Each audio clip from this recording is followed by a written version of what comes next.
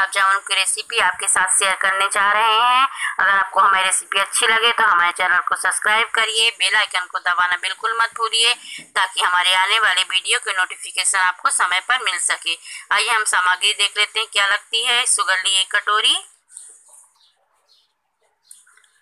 थोड़ी सी इलायची छील करके रख लिया है, दाने निकाल लिए हैं, ये हमने पाउडर लिया है। हम पाउडर के गुलाब जामुन बनाएँगे, आधी गिलास मिल्क लिया है।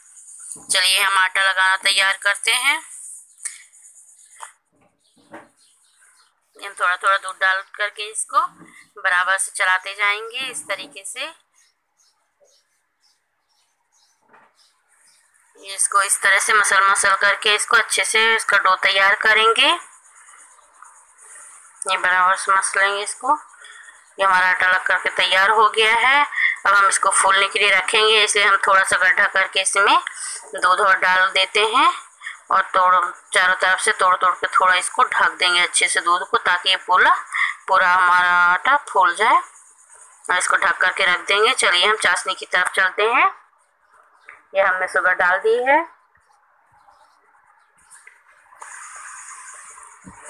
हम इसे पानी ऐड करेंगे। एक गिलास पानी हमने डाल दिया है। एक गिलास पानी और ऐड करेंगे। ये हम दो गिलास पानी डाल रहे हैं, क्योंकि गुलाब जामुन की चाशनी थोड़ी पतली होनी चाहिए, ज़्यादा गाढ़ी नहीं होनी चाहिए, इसलिए पानी थोड़ा सा इसमें ज़्यादा ही लगता है। इस तरीके से बराबर चलाते जाएँगे, ताकि हमारी शुगर अच्छे से मेल्ट हो सके। ये हमारी शुगर मेल्ट हो गई है अच्छा उबाल आ गया है चाशनी में बराबर चलाते जाएँगे। हम इसमें इलायची डाल रहे हैं। थोड़ी देर और इसको चलाएँगे। थोड़ा हल्का चिपकने लगेगी तो बंद कर देंगे। ये चाशनी बन करके तैयार हो गई है। अब चलिए हम इसको खोल करके देख लेते हैं, आटे को अपना फूल गया है कि नहीं।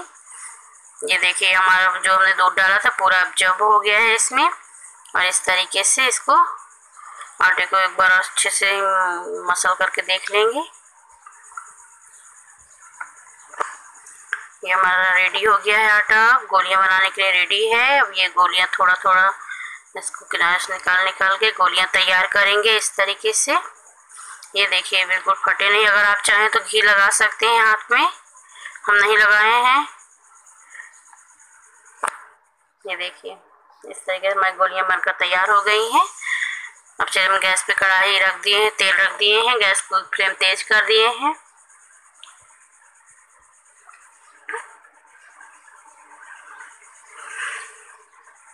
एक एक करके गोलियाँ डालेंगे। इस तरीके से बराबर से चलाते जाएँगे। गैस की फ्लेम को धीरे कर दिए हैं। अब पूरी गोलियाँ धीरे करके ही गैस की फ्लेम को धीरे ही रखेंगे। धीमी आँच पे ही पकाएँगे इसको अच्छे से गोलियों को। हम इसको निकाल करके देख लेते हैं। ये अभी थोड़ा सा और इसको लाल होने देंगे। ये हम गोलियों को निकाल लिए हैं। ये हमारी सारी गोलियाँ तल करके तैयार हो गई हैं। चाशनी में डाल दिए हैं। चलिए हम इसे सर्व करते हैं। ये हमने सर्व कर दिया। अगर आपको हमारी